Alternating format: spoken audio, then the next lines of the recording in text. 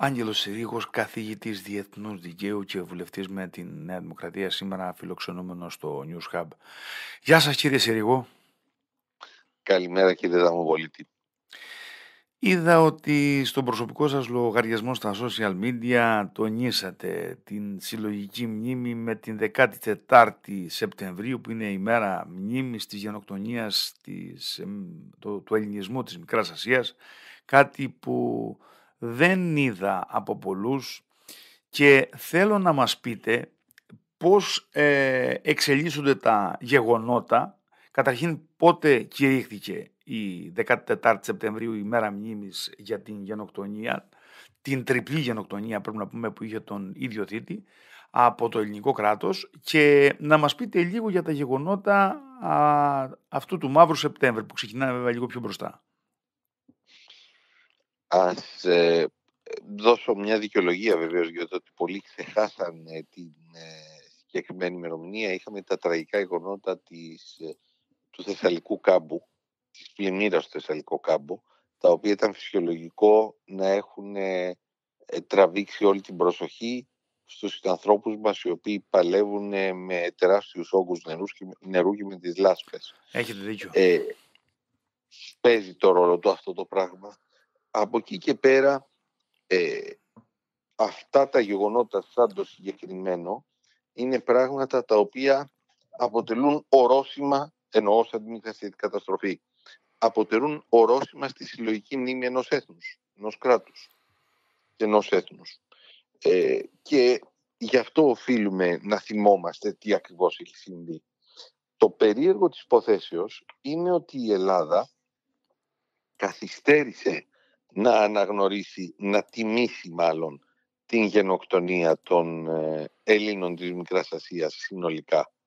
Ε, και αυτό οφείλεται, τώρα που οφείλεται αυτό, μπορεί να είναι μια σειρά από λόγοι.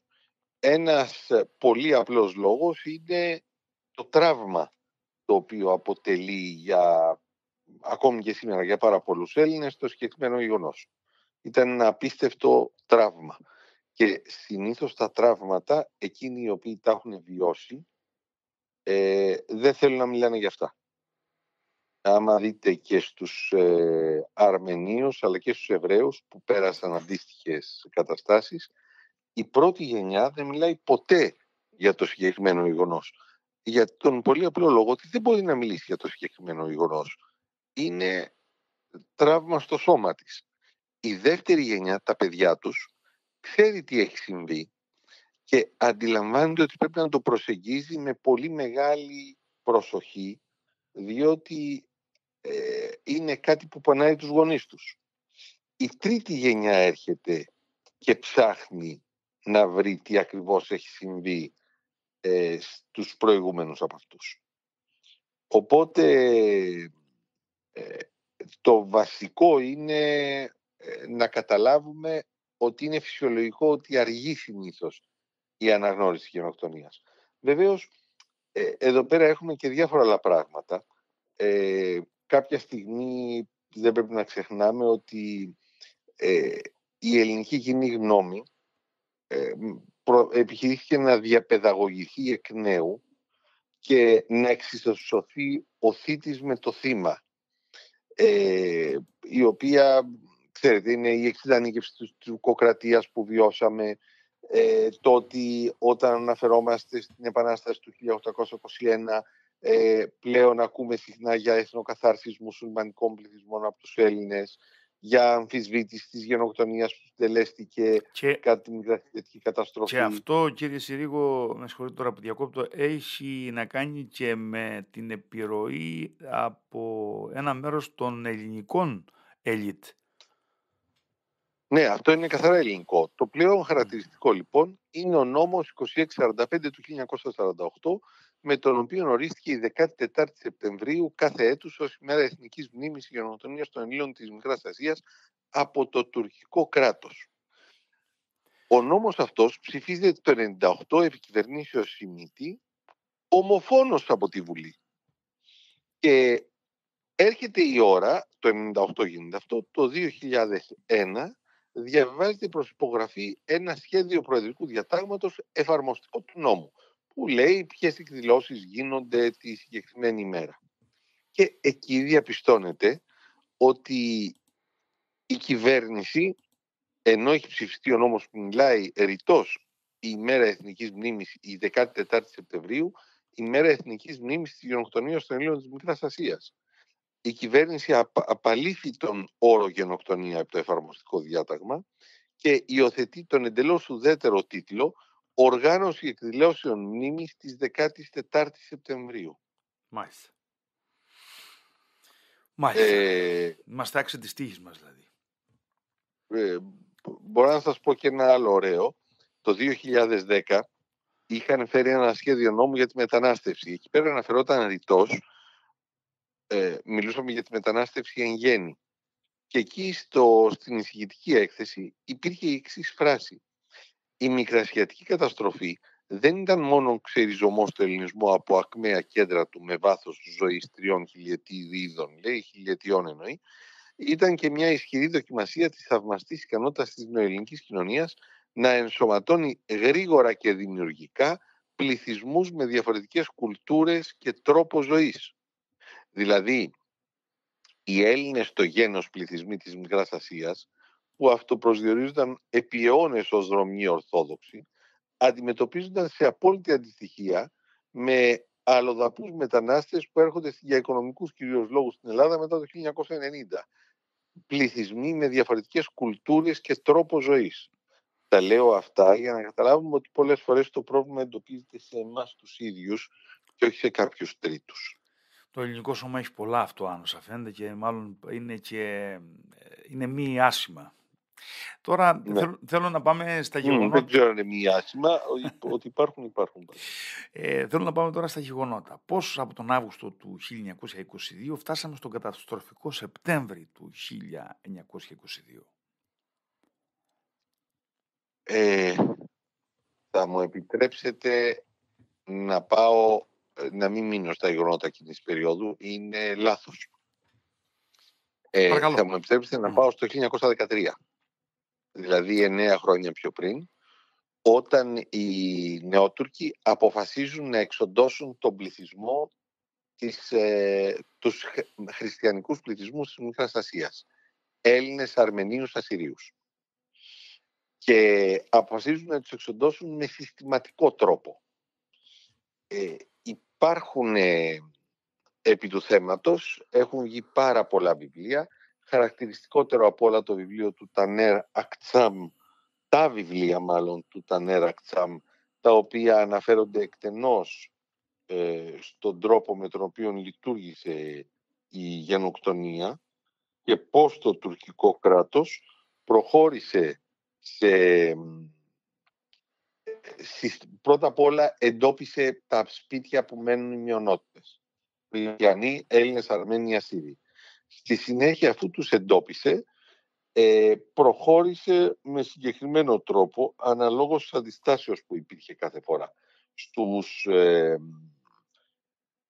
Αρμενίους, παραδείγματι, που δεν είχαν εθνικό κράτος, τα πράγματα κινήθηκαν πολύ πιο άγρια και ισοπεδωτικά εν συγκρίση προς τους Έλληνες οι οποίοι είχαν εθνικό κράτος δίπλα τους. Ε, έτσι, οι Έλληνες μεταφέρθηκαν, οι Έλληνες της Μικράς Ασίας που ζούσαν στα παράλια μεταφέρθηκαν στο εσωτερικό, οι Αρμένοι ε, σε ολόκληρο το, το πλάτος και το μήκος της αυτοκρατορίας μπήκαν σε ατέλειωτες πορείες θανάτου ε, οι οποίοι κατέληγαν στην έρημο της Συρίας και εξοντώθηκαν. Οι Έλληνες αρχικώς εξεδιώχθησαν από τις οικίες τους. Αυτό είναι γνωστό στους Έλληνες της εποχής εκείνης ως ο πρώτος διωγμός. Άμα, μιλήσετε με μικρασι... Άμα μιλούσατε, μιλούσαμε σήμερα με μικρασιάτες που τα είχαν βιώσει, αναφέρονταν στον πρώτο διωγμό του 14 και στο δεύτερο διωγμό του 22. Παράλληλα, επειδή η Τουρκία μπαίνει στον Πρώτο Παγκόσμιο Πόλεμο, οι Γερμανοί, οι οποίοι δεν θέλουν η Ελλάδα να στραφεί προς τους συμμάχους, την καλούν να περιορίσει τις γενοκτονικές της πολιτικές εις βάρος των Ελλήνων, πράγμα το οποίο συμβαίνει για μερικούς μήνες. Δηλαδή για μερικούς μήνες από τα τέλη του 14 μέχρι και τα μέσα του 15 η Τουρκία αυτοπεριορίζεται έναντι της γενοκτονίας των Ελλήνων.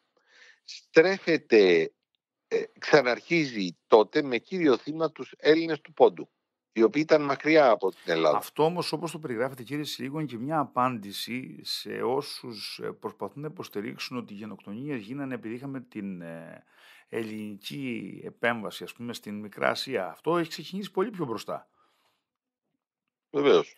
Μα ένα από τα πράγματα σε αυτές τις ελίτε, τις οποίες αναφερθήκατε προηγουμένως ε, ευγενικά, είναι. Εμένα μου επιτρέψετε να χρησιμοποιήσω άλλους όρους ε, υπήρχε ο προκάτοχος του Κουκουέ ήταν το ΣΕΚΕ. Το ΣΕΚΕ ε, ήταν ένα κόμμα το οποίο υποστήριζε ότι ο πόλεμος που γίνεται στην Μικρά Ασία είναι αστικοτσιφλικάδικος. Τις απόψεις του ΣΕΚΕ συνέχισε το Κουκουέ, συνέχισε ένα μεγάλο τμήμα της αριστεράς και επιβιώνουν ακόμη και σήμερα σε ένα τμήμα της ελληνικής αριστεράς που αρνείται να παρακολουθήσει τα όσα αποκαλύπτονται τα τελευταία χρόνια από κορυφαίους ακαδημαϊκούς για την τουρκική πολιτική εκείνη της περίοδου εις βάρος των χριστιανών της αυτοκρατορίας.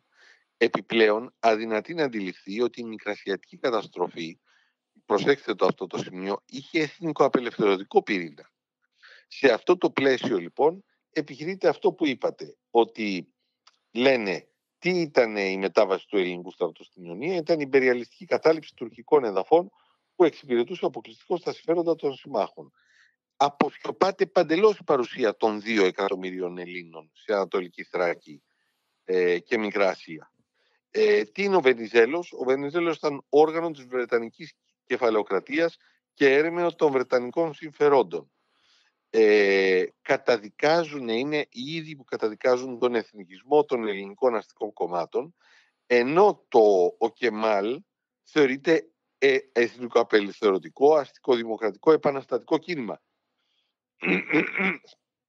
Αναδεικνύεται δηλαδή, με συγχωρείτε, αναδεικνύεται δηλαδή ο Κεμάλ ως προοδευτικός ηγέτης, παρότι ήταν η απόλυτη συνέχεια της στρατιωτικής γραφειοκρατίας των Τούρκων και συνέχισε τις πρακτικές εξοντώσεων των χριστιανών της Οθωμανικής Αυτοκρατορίας που είχαν ξεκινήσει οι Νεότουρκοι. Γι' αυτό και δίνεται και... ίσως μεγάλη σημασία στις ορολογίες και προσπαθούν να αντικαταστήσουν τη λέξη γενοκτονία με, την, ε, με μια σφαγή ή όποια άλλη ε, ή ένα έγκλημα πολέμου γιατί νομίζω ότι προσπαθούν να βγάλουν από το κάδρο αυτό που είπατε στην αρχή ότι έγινε μια συστηματική εξόντωση. Εδώ πέρα έχουμε το εξής. Έχουμε εξίσωση της γενοκτονίας και των εθνικών κατάρσεων των Ελλήνων που αποτελούσε στρατηγική επιλογή των Νεοτούρκων και του Κεμάλ με τις ομότητες που πράγματι διέπραξαν μονάδες του ελληνικού στρατού στην Μικρά παρότι όμως είχαν αντίθετη ρητή εντολή που τους είχαν δώσει επανειλημμένως οι ελληνικές κυβερνήσεις. Υπήρχε αντίθετη ρητή εντολή. Όσο και να ψάξετε, στα αρχεία δεν υπάρχει εντολή σφάχτε από πάνω προς τα κάτω. Έγιναν σφαγές, έγιναν. Αλλά αυτές οι σφαγές δεν ήταν αποτέλεσμα επιλογής κεντρικής των τότε κυβερνήσεων. Ήταν πρωτοβουλίες τις οποίες μπορεί να παίρνανε ε, αξιωματικοί στο πεδίο της μάχης ή και κατά την υποχώρηση οι ατάκτως υποχωρούνται στρατιώτες. Ε, όλα αυτά εξισώνονται με αυτό που συνέβη ως στρατηγική επιλογή από τους νεότουρκους και από τον Γεμάλ. Δεν είναι τυχαίο ότι το 1913 οι χριστιανοί είναι το 20% των κατοίκων της Μικράς Ασίας και της Ανατολικής Τράκης και το 1922 πριν την ανταλλαγή των πληθυσμών είναι λιγότερο από το 2%. Μάλιστα. Όλη, όλη η ζημιά δηλαδή είναι πριν από αυτό που ονομάζουμε μικρασιατική καταστροφή. Όχι. Ε, πριν την ανταλλαγή των πληθυσμών. Πριν την ανταλλαγή, ναι, γίνεται το 23 με τη συνθήκη της Λοζάνης η μικρασιατική καταστροφή και αυτό που γίνεται στη Σμύρνη είναι συνέχεια της πολιτικής των νέων Τούρκων. Το ότι βάζουν φωτιά στην πόλη της Μύρνης οι Τούρκοι δεν είναι κάτι τυχαίο. Το βάζουν συνειδητά. Γιατί δεν θέλουν οι Έλληνες να έχουν σπίτια. Θέλουν να τους διώξουν από τις αιστείες τους. Και ποιο είναι ο πιο εύκολος τρόπος, θα κάψεις τα πάντα. Μάλιστα. Ε, οπότε για να φτάσουμε τώρα στο, στο Σεπτέμβριο του 2022, θέλω να μας πείτε καταρχήν, ενώ... Είναι το τελευταίο κεφάλαιο mm-hmm. στην πολιτική γενοκτονίας. Μάλιστα. Ενώ, δηλαδή έχουν γίνει όλα τα άλλα, το τελευταίο κεφάλαιο είναι αυτό. Ενώ έχουμε λοιπόν την υποχώρηση του ελληνικού στρατού για να επιβαστεί στα πλοία και να φύγει μαζί του, ε, αποτραβιέται και το ελληνικό και το ε, αρμενικό στοιχείο. Το λέτε ευγενικά. Παρακαλώ, δώστε τον ορισμό. Η υποχώρηση του ελληνικού στρατού ε, για να επιβαστούν στα πλοία. Ε, η πραγματικότητα είναι ότι ε, ο ελληνικός στρατός, ελάχιστα τμήματά του παρέμειναν δυνατά για να συνεχίσουν να πολεμούν. Ε, παραδείγματι, ένα από τα τμήματα ήταν το 542 του Πλαστήρα. Αυτός είναι και ο λόγος που ο Πλαστήρας είχε τόσο μεγάλη έγλη μεταξύ των μικρασιατών, διότι θυμόντουσαν ακριβώς ότι εκείνες τις δύσκολες στιγμές ήταν ο μόνος ο οποίος είχε απομείνει εκεί πέρα. Ε, ένα άλλο τμήμα το οποίο μπόρεσε και παρέμεινε ήταν το τμήμα του Μπάκου, ο οποίος αμάβρωσε το όνομά του στη συνέχεια όταν έγινε υπουργός στρατιωτικών ε, των κυβερνήσεων ε, της ε, κατοχής. Ε, υπήρχαν τμήματα στρατιωτικά τα οποία παρέμειναν, αλλά δεν ήταν ο κανόνας. Ο κανόνας ήταν άτακτη φυγή. Μάλιστα. Δώσατε λοιπόν τον ορισμό το σωστό. Εκείνη σε εκείνη τη φάση στην Ελλάδα ποια πολιτική κατάσταση επικρατεί με την κυβέρνηση Πρωτοπαπαδάκη η οποία και παρετείται. Το χάος. Εκεί έχουμε το χάος. Δηλαδή ε, κανένας δεν μπορεί να χειριστεί τα γεγονότα εκείνης της περίοδου. Ε, τους έχουν ξεπεράσει. Αντικειμενικά είναι η μεγαλύτερη καταστροφή που υφίσταται ο ελληνισμός Γενικώς, εγώ το θεωρώ μεγαλύτερη καταστροφή από την άλλη Κωνσταντινούπολης. Γιατί όταν έγινε η άλλη Κωνσταντινούπολη, η Κωνσταντινούπολη ήταν μια νησίδα Ελλήνων, ελεύθερων Ελλήνων, που συνέχιζαν τη Βυζαντινή Αυτοκρατορία σε μια θάλασσα Τούρκων γύρω-τριγύρω, με κρατικές οντότητες Τούρκων. Η καταστροφή μεγάλη του 1922 είναι η βίαιη αποκοπή εκατομμυρίων Ελλήνων από τα μέρη στα οποία μεγαλούργησε ο ελληνισμός. Δηλαδή αναπτύχθηκε ένας ολόκληρος τεράστιος πολιτισμός. Ε, από εκεί και πέρα ε, μπροστά σε αυτό το χαμό στην Ελλάδα είχαμε αλλαγές και γίνεται το περίφημο ε, προσπαθούν οι ε, η κυβέρνηση καταραίει εκ των πραγμάτων. Ο βασιλιάς, ο οποίος ούτως ή άλλως δεν ήταν καλά στην υγεία του, ε, έχει χάσει τη γη κατά από τα πόδια του, ε, πηγαίνει, έρχεται το 542 τάγμα πεζικού, ε, το, το τάγμα ευζώνων του πλαστήρα, περνάει στα νησιά και εκεί γίνεται η λεγόμενη επανάσταση στις 11 Σεπτεμβρίου. Είναι οι στρατιωτικές δυνάμεις του όσες έχουν μπορέσει και έχουν φύγει στοιχειοδός συντεταγμένες, οι οποίες έχουν περάσει σε Χίο, Λέσβο, ε, σχηματίζουν επαναστατική κυβέρνηση με επικεφαλής τον Πλαστήρα, το Στυλιανό Γονατά και τον αντιπλήρχο Φωκά. Ε, είναι τέτοια η έκταση της καταστροφής που ε, στέλνουν, ρίχνουν στην πρωτεύουσα προκηρύξεις και ζητούν την παρέτηση ε, τον, του βασιλιά Κωνσταντίνου. Φτάνουν τα πλοία στις 13 Σεπτεμβρίου στο Λαύριο και την επομένη ο βασιλιάς Κωνσταντίνος παρετείται και φεύγει για την Ιταλία και κηρύσσεται βασιλιάς και διάδοχος ο γιος του Γιώργος ο δεύτερος. Μάλιστα. Κλείνοντας τώρα, θέλω να μας πείτε κάτι άλλο. Θέλω να μας πείτε ε, δύο πράγματα προς το κλείσιμο. Ποια ήταν η αντίδραση του ΙΠΑ, του αρμοστή του Στεριάδη, σε εκείνη την χρονική φάση, γιατί πολλά έχουν υποθεί για αυτή την προσωπικότητα, και ποια ήταν η αντίδρασή του για την πρόταση της μικρασιατικής άμυνας, που σε εκείνες τις δύσκολες στιγμές ήταν άποψη πολλών και ευαγγελικών αξιωματικών να δημιουργηθεί για να περισσώσει ό,τι γίνεται. Ο Στεριάδης είναι από τα πλέον αφιλεγόμενα πρόσωπα εκείνης τη περίοδου. Ήταν ο υπατισταρμοστή της Ελλάδας στη Σμύρνη, παρέμεινε στη θέση του, τον όρισε ο Βενιζέλος. Ήταν ο μοναδικός ανώτατος κρατικός λειτουργός που παρέμεινε στη θέση του παρότι είχε ε, εν μέσω εθνικού διχασμού, παρότι είχε τοποθετηθεί από το Βενιζέλο. Θεωρώ ότι αυτό δείχνει τις ικανότητέ του.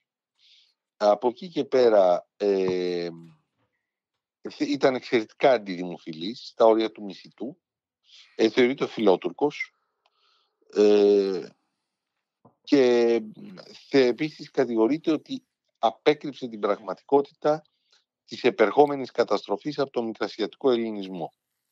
Να πω δύο πράγματα για τον Στεριάδη. Ήταν από την Κρήτη, από το Ηράκλειο, ε, ήταν δικηγόρος. Στη σφαγή του Ηρακλείου τον Αύγουστο του 1898 ε, εσφαγιάστησαν δύο από τους αδερφούς του, ενώ ο ίδιος για συμπτωματικούς λόγους έτυχε να είναι έξω από το σπίτι για λίγα λεπτά, γλίτωσε. Είχε πάρει μέρος στην παράσταση του Θερήσου, είχε φυλακιστεί από τους Βρετανούς για ένα χρόνο. Από τότε χρονολογείται και η γνωριμία και η φιλία του με το Βενιζέλο. Ε, είχε διοριστεί γενικός διοικητής Υπήρου και ανέλαβε ύπατος αρμοστής ε, ο ρόλος του ήταν ο εξής και αυτό πρέπει να καταλάβουμε. Τα εδάφια αυτά δεν τα είχαμε πάρει οριστικά. Επρόκειτο να γίνει δημοψήφισμα. Και ο ελληνικός πληθυσμός στα εδάφια αυτά που είχαμε διεκδικήσει ήταν στα όρια του 50%. Οπότε ο Στεργιάδης είχε αναλάβει να κρατάει ισορροπίες ούτως ώστε όταν θα γινόταν το δημοψήφισμα το αποτέλεσμα να ήταν θετικό. Να μην έχεις δηλαδή άλλες, ε, άλλους πληθυσμούς μη ελληνικούς οι οποίοι θα καταψήφιζαν μαζικά την ε, ενσωμάτωση της Μύρνης και της Ιωνίας στο ελληνικό κράτος. Προσπαθούσε δηλαδή να ε, κάνει μια προεργασία για την αυριανή πραγματικότητα που υπολόγιζε. Ακριβώς. Ε, επί παραδείγματι χρησιμοποιούσε, ε, είχε πάρει στενούς συνεργάτες του ε, ανθρώπους οι οποίοι ήταν μουσουλμάνοι και μάλιστα τουρκοκριτικοί. Ο Αλή Ζαδέ ήταν ένας από αυτούς, προσωπικός φίλος του Φενιζέλου, ο οποίος ανέλαβε ε, το τμήμα μουσουλμανικών υποθέσεων της ΥΠΑ της Αρμοστίας Μύρνης. Ε, να πω επίσης ότι χρησιμοποίησε, παρέμεινε στο διοικητικό μηχανισμό. Οι Τούρκοι ήταν γύρω στο 40% του πληθυσμού. Αυτό σημαίνει ότι ο Στεριάδης κράτησε Τούρκους υπαλλήλους σε κατώτερες διοικητικές θέσεις. Τα δικαστήρια χρησιμοποιούσαν ως γλώσσα την τουρκική. Ο ίδιος ήταν γνωστός για την αιμονή του να αντιμετωπίζονται με αυστηρότητα κατηγορούμενοι ελληνικής καταγωγής και με επίοικια εκείνη που ήταν τουρκικής καταγωγής, διότι ήθελε να κρατάει ισορροπίες. Ε, από εκεί και πέρα ε, είχε να αντιμετωπίσει έναν διοικητικό μηχανισμό που δεν είχε, αυτός ως ε, κριτικός είχε εμπειρία επαφής με μουσουλμανικούς πληθυσμούς. Το μεγαλύτερο τμήμα όμως της ελληνικής διοικητικής μηχανής δεν, διέθετε, δεν διέθετε προηγούμενη αντίστοιχη εμπειρία. Ε, από εκεί πέρα συγκρούστηκε με ένας λόγο χαρακτήρα, ο οποίος ήταν αρκετά δίστροπο. Συγκρούστηκε με τους δημογέροντες της ελληνικής κοινότητας Μύρνης, συγκρούστηκε με την ιεραρχία και με το Μητροπολίτη Μύρνης, τον ιερομάρτυρα Άγιο και ιερομάρτυρα Χρυσόστομο. Οι σχέσεις τους ήταν εκρηκτικές. Να φανταστείτε ο Στεριάδης είχε διακόψει κήρυγμα του Χρυσόστομου σε επίσημη δοξολογία επειδή θεώρησε ότι το περιεχόμενό του δεν ήταν θρησκευτικό αλλά πολιτικό. Σίγουρα ήταν πολιτικό, αλλά δεν ήθιστε αυτό το πράγμα.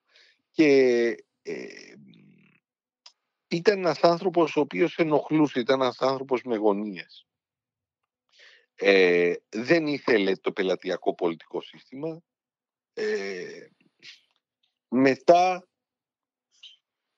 μετά την καταστροφή, όχι όταν έφτανε η ώρα της καταστροφής, υπήρξε ο παδός της εφτάκτου αποχωρήσεως. Απέδει δηλαδή εξαιρετική σημασία στην κρατική οργάνωση. Ε, μάζεψε, συσκεύασε και απέστειλε στην Ελλάδα τα αρχεία όλα του κράτους. Πίστευε στη συνέχεια του κράτους και ζήτησε να κρατηθεί απολύτως μυστική συγκεκριμένη ενέργεια για να αποτραπεί η μαζική έξοδος των Ελλήνων από τις πατρογονικές τους αιστείες.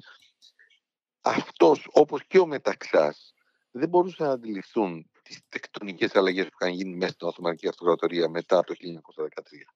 Δηλαδή, δεν αντιλαμβανόταν ότι ο στόχος των Τούρκων ήταν να εξοντώσουν τους Έλληνες. Ξέρετε, το παράδειγμα του Αϊβαλιού είναι εξαιρετικά χαρακτηριστικό. Οι Αϊβαλιώτες, το Αϊβαλί ήταν μια περιοχή που μένανε μόνο Έλληνες, οι Κιδονίες, απέναντι από την ε, Λέσβο. Μένανε μόνο Έλληνες βάσει Σουλτανικού διατάγματος. Όταν έγινε η Επανάσταση του 1921, οι Αϊβαλιώτες πήραν μέρος στην Επανάσταση. Εξεδιώχθηκαν από τους Τούρκους, έγιναν σφαγές, έφυγαν από εκεί, πέρασαν στα Μοσχονήσια, από εκεί στα, ε, στα νησιά απέναντι, στη Λέσβο. Κάποιοι εξ αυτών έφτασαν μέχρι και την Άνδρο. Η οικογένεια της συζύγου μου κατάγεται από εκεί πέρα. Ε, κάποια στιγμή το 1828, όταν τελειώνει πλέον η Επανάσταση στην Ελλάδα και μπαίνουμε στη φάση ε, σχετικής αποκαταστάσεως των πραγμάτων, οι Αϊβαλιώτες προσεγγίζουν τον Σουλτάνο, ο οποίος τους δίνει το δικαίωμα επιστροφής. Αυτό ως αντίληψη κυριαρχούσε, δηλαδή λέγανε ότι θα γυρίσουμε πίσω, το πιστεύανε αυτό. Ήταν ευρύτερη ιδέα δηλαδή που είχαν. Ακριβώς. Τώρα από εκεί και πέρα, ε, παρά τα όσα διακινούν, ο Στεριάδης ε, λένε ότι ο Στεργιάδης ήταν από τους πρώτους που έφυγε. Στην πραγματικότητα ήταν ο τελευταίος κρατικός λειτουργός που αναχώρησε μετά την αποχώρηση του ελληνικού στρατού. Δεν επέστρεψε ποτέ στην Ελλάδα, έδωσε δύο-τρεις συνεντεύξεις. Επέλεξε να ζήσει αυτοεξόριστο στη Γαλλία. Ουδέποτε έδωσε μια πιστική απάντηση για το τι συνέβη στην Μικρά Και θεωρώ πως η κακή εικόνα που υπάρχει για το πρόσωπο του τον αδικεί για την μικρασιατική άμυνα και να κλείσουμε με αυτό. Τι ήταν η, η, ιδέα για μικρασιατική άμυνα; Α, ε, η, η ιδέα της άμυνας ήταν μια ιδέα που είχε ξεκινήσει από κατά διάρκεια του εθνικού διχασμού το 16. Ε, δημιουργείται στη Θεσσαλονίκη ε, τέλη, τέλη 15 αρχές 16 δημιουργείται στη Θεσσαλονίκη από φιλελευθέρωση η Επιτροπή Εθνικής Αμήνης, στην οποία ε, εντάσσονται φύλλα προσκύμενοι αξιωματικοί προς το Βενιζέλο ε, και όλη η κριτική χωροφυλακή που βρισκόταν εκεί πέρα. Ε, αυτοί κήρυξαν τον Αύγουστο του 2016 το λεγόμενο κίνημα της Θεσσαλονίκης. Βασισμένοι σε αυτό το πρότυπο, ζητούν Έλληνες αξιωματικοί που βρίσκονται στην Κωνσταντινούπολη μετά την ήττα του Βενιζέλου στις εκλογές έχουν πάει πολλοί Έλληνες αξιωματικοί στην Κωνσταντινούπολη. Εκεί έρχονται σε επικοινωνία με Κωνσταντινοπολίτες και φτιάχνουν την Εθνική Άμυνα Κωνσταντινούπολεως. Ε, και ο στόχος είναι, είναι γύρω στους 50-60 αξιωματικούς ε, ο στόχος είναι, επικεφαλής τους είναι κατ' ουσίαν ο μετέπειτα δικτάτορος, ο Γιώργος Κονδύλης. Ε, ο στόχος είναι να μπορέσουν να στηρίξουν την επιβολή των όρων της δίκης των Σευρών και να στηρίξουν κατ' επέκταση τον ελληνισμό. Δεν ήταν όμως απολύτως σαφές τι θέλανε να κάνουν. Ε, εκείνος το οποίο συμφωνούσαν ήταν ότι ο Βενιζέλος ήταν ο κατάλληλος πολιτικός για να μπορέσει να κρατήσει αυτές τις περιοχές. Αλλά είχαν φτάσει σε ακραίο φανατισμό να φανταστείτε ο Κονδύλης, επικεφαλής αυτής της ομάδας, ε, είχε γράψει ένα άρθρο στην εφημερίδα Πρωία της Κωνσταντινούπολης με τίτλο «Ρίψατε τα όπλα», το οποίο απευθυνόταν προς τους Έλληνες στρατιώτες που πολεμούσαν στην Ιγρασία. Το πήραν οι Τούρκοι, το ανατύπωσαν αυτό το άρθρο και το πετάγαν με τα αεροπλάνα τους πάνω από τα ελληνικά στρατεύματα που πολεμούσαν. Είχε φτάσει σε τέτοιο βαθμό δηλαδή ο φανατισμός ε, των προσώπων ναι, ναι. Ναι. Μάλιστα. Κύριε Συρίγο, θα θέλαμε να σε ευχαριστήσουμε θερμά για την παρουσία σας εδώ στο News Hub και να ανανεώσουμε το ραντεβού μας. Ευχαριστούμε πολύ. Να είστε καλά κύριε Δαμοβολίτη. Καλή σας μέρα.